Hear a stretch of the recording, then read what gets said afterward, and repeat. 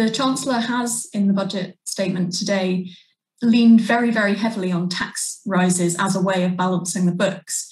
introducing what looks to be the largest net tax rise of any budget since the 1993 one that Norman Lamont announced.